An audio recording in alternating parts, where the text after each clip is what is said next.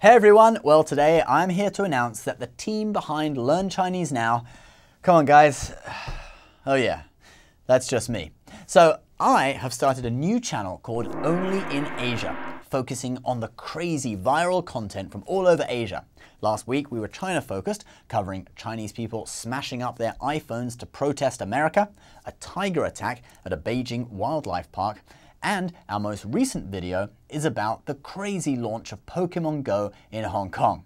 So basically, we're moving the content that we used to post on this channel about funny stuff caught on video in China to a new channel, keeping this channel purely about learning Chinese. We'll be uploading new videos most weekdays to the new channel and also new learning Chinese content every Friday on this original Learn Chinese Now channel. Uh, so if you'd like to check it out, you can check out the new channel by clicking here. If you like the content, please subscribe.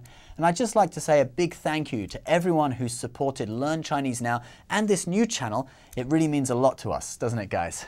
Oh yeah, I forgot. It's just me. It really means a lot to me, guys. Thanks very much.